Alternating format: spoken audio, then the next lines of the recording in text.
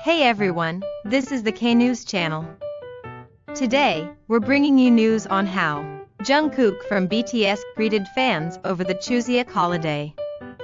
On September 1st, Jungkook posted a photo on the fan community Weverse with a message saying, Charon, in this photo, he's seen in a casual outfit with a lip piercing and beanie, flashing a peace sign to the camera from inside a room, sending his Chuseok greetings to fans.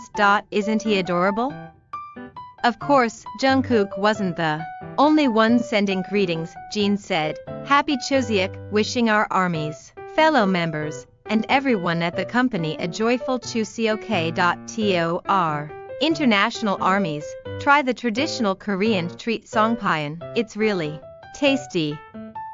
V also dropped a greeting saying, have a wonderful Chuseok. J-Hope commented, Happy Chuseok Heartsuit Army, enjoy your Chuseok, while Jimin playfully said, have a fun-filled Chuseok.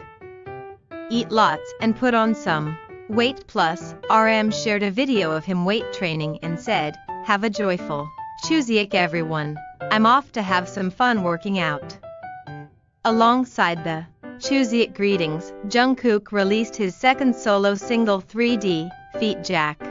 Harlow, on September 29 th, 3D topped the top songs charts on iTunes in 100 countries slash regions, including the US, UK, Canada, Italy, and Japan, the day after its release. That wraps up our news for today.